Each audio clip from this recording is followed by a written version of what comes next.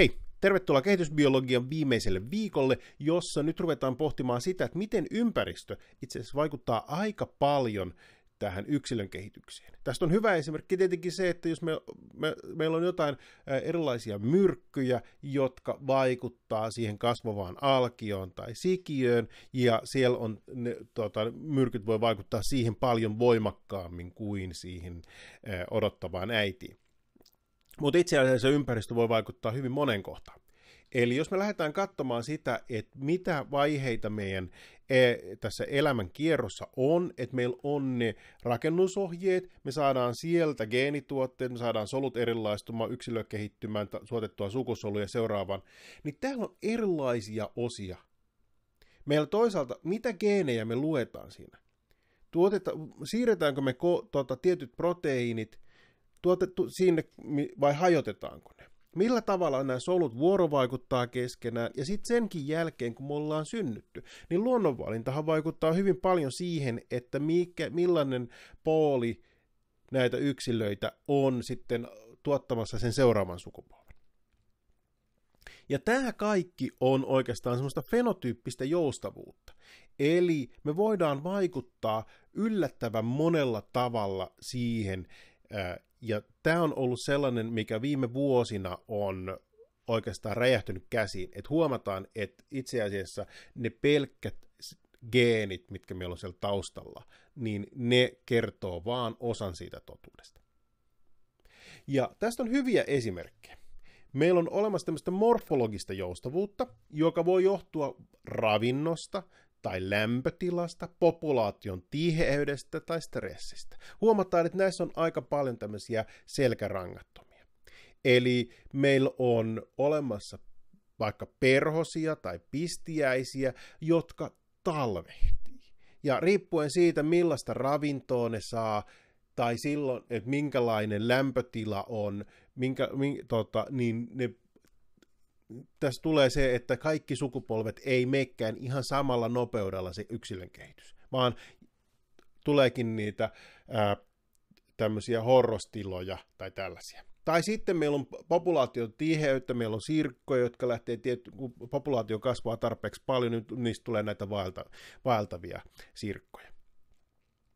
Sitten voi olla sukupuolista joustavuutta. Eli Suku, sosiaaliset suhteet, lämpötila, sijainti voi vaikuttaa siihen, että tuleeko poikia tai tyttöjä.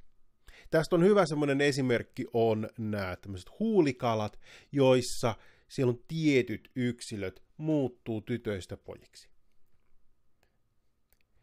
Ja sitten meillä on tämmöisiä saalisteen aiheuttamia fenotyyppistä muutosta. Meillä voi olla saalistajat voi pa- vaikuttaa, kun saalisteen pakeneminen voi vaikuttaa tähän rakenteeseen tai immunologisia muutoksia siinä, että kun meillä on saalistajia läsnä tai lisääntymistä voidaan säädellä.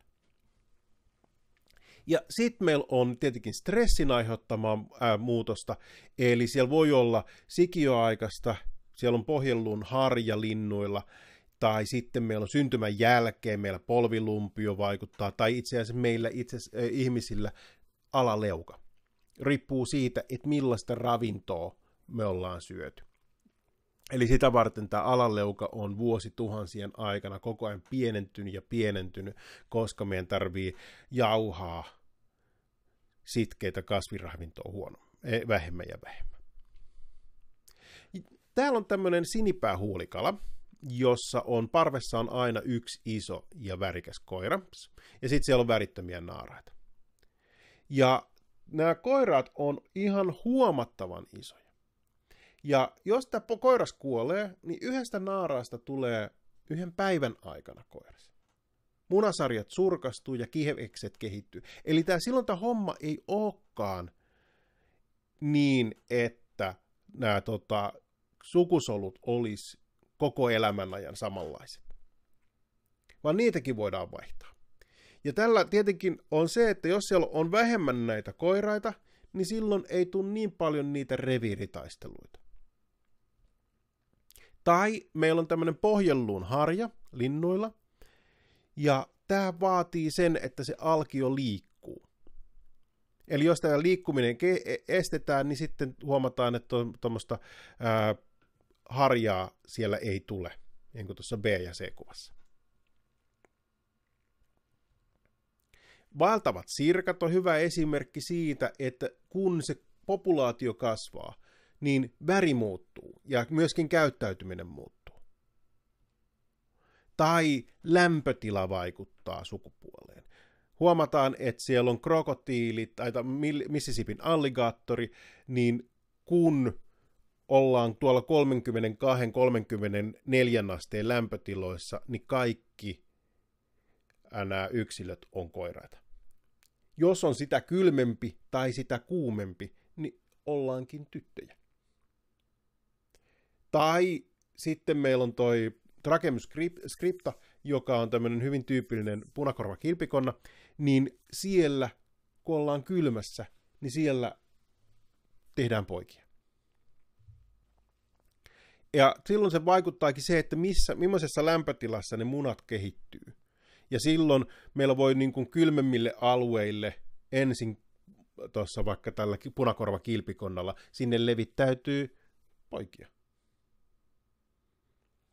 Mutta tota, ja tämä tietenkin vaikuttaa silloin siihen, että jos meillä tota, tämä lämpötila maapallolla muuttuu, tai tällä elinalueella, niin sitten tämä sukupuolinen jakauma näillä eläimillä voi muuttua. Ja hyvä esimerkki on myös ihminen. Tässä on ihmisen luustolihasta ja avaruuslentäjiä. Eli sinne luustolihakseen alkaa kertyä tämmöisiä rasvapalloja, kun ei olekaan painovoimaa. Ja tämä on tietenkin aika semmoinen, mikä meille normaalisti ei kauheasti tule vastaan, mutta sitten jos me alettaisikin toimia jossain avaruudessa, niin, niin se pitäisi ottaa huomioon, että heitä maapallon painovoimakin vaikuttaa hyvin olennaisesti siihen, että miten meidän, meidän elimistö kehittyy. No, myös tämä elinkierron säätely voi muuttua.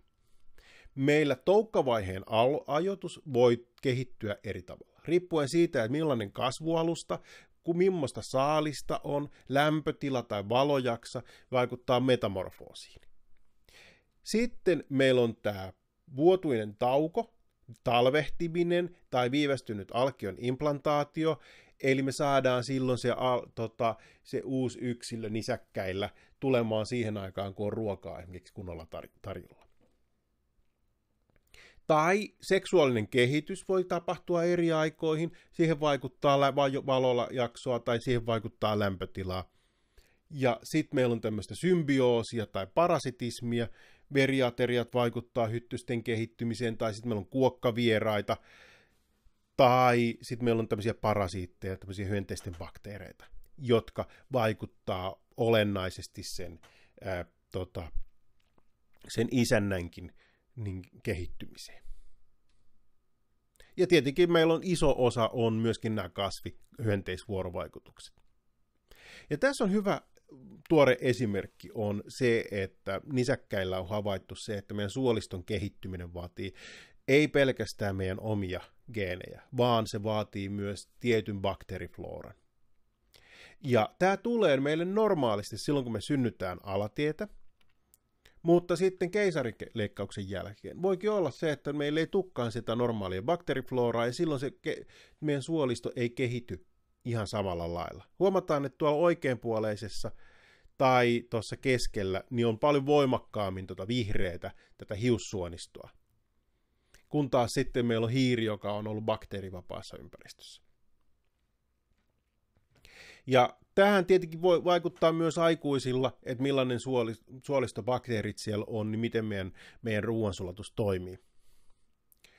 Tai yksi olennainen osa, mikä on siinä, että kun me ollaan tämmöisessä ulkoisella, u, u, tota, eläimen ulkopuolella kehittyy se muna niin silloin me altistutaan aina ultraviolettisäteilylle.